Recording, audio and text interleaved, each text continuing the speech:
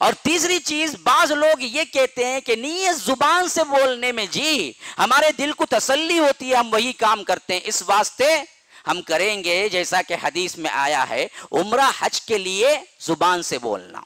اب دیکھیے، یہ دلیل آ گئی۔ یہ ذرا علمی بحث ہے، لیکن میں آخری میں اس واسطے ہی لایا کہ جن کو ذرا اوپر نیچے ہو رہا ہے، وہ خالی سن لیں، کوئی مسئلہ نہیں۔ جو اہل علم ہے وہ اچھی طرح سمجھ لیں۔ جب ہم کو یہ کہتے ہیں، ہم ان کو کہ نیت زبانی نہیں ہے اور زبان سے کرنا بدت ہے، تو وہ کہتے ہیں کہ پھر تو عمرہ اور حج کی نیت تو زبان سے کرتے ہیں۔ اور حدیث سے ثابت ہے۔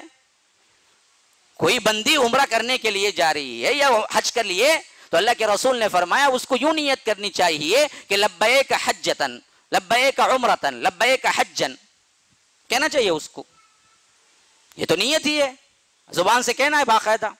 اگر وہ ایک ہی سفر میں عمرہ اور حج کر رہی ہے تو لبے کا عمرتن وہ حجن کہنا چاہیے۔ یہ تو زبان سے ہی کہنا ہے۔ تو اس معاملے میں تو ہمیں دلیل ملی۔ تو اسی لیے علماء اسلاف کہتے ہیں کہ یہ لبیک کے ساتھ جو ہم حج اور عمرے کا نام لیتے ہیں، یہ دراصل نیت نہیں ہے۔ یہ بھی نیت نہیں ہے جو زبان۔ نیت تو دل ہی میں کرنا ہے حج اور عمرے کی بھی۔ یہ زبان سے جو بولتے ہیں، یہ ہم حج اور عمرہ میں داخل ہوتے ہیں جیسے نماز میں تکبیر تحریمہ سے اندر داخل ہو جاتے ہیں نماز کے۔ اللہ اکبر ماشاء اللہ کیا تشریح اللہ تعالیٰ ان لوگوں کے خبر کو نور سے بھر دے۔ کیسے کیسے سمجھایا ہے، دیکھیے۔ کوئی بندی لبے کا حجن لبے کا عمرتن بولتی ہے تو وہ نیت نہیں ہے۔ وہ حج اور عمرہ کے اندر داخل ہو جاتی ہے۔ یعنی وہ چیزیں اس پر حرام ہو جاتی ہیں جو چیزیں پہلے حلال تھی۔ جیسے نماز میں آپ تکبیر تحریمہ باندھتی ہیں، تو فوری طور پر آپ پر کھانا حرام، پینا حرام، بات چیت کرنا حرام جو پہلے حلال تھا آپ کے لیے۔